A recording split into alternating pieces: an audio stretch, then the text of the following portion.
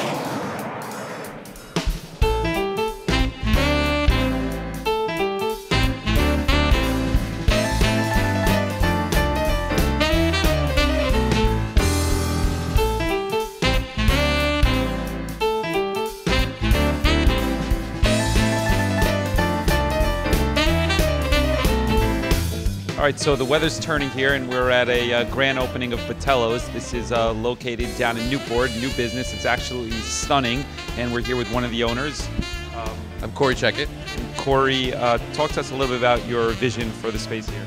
I was looking for a while for a place where I could have weddings, but as well as a, a large restaurant. I found this space kind of accidentally and just fell in love with the space and thought it was kind of underutilized, and I saw a lot of potential for it.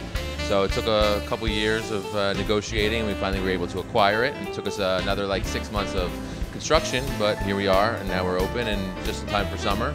After a very long winter, that people have been, I think, really, really waiting for summer. I think it's gonna be wonderful once we can open up all these doors. So, so the place is stunning. We'll go take a tour of it, and he'll talk a little bit more about what's going on here. But uh, uh the address is uh, 502 Washington Boulevard. It's not the easiest of places to find but you just really look for the obelisk right across the street from the Westin Hotel. Now, talk a little bit about the menu.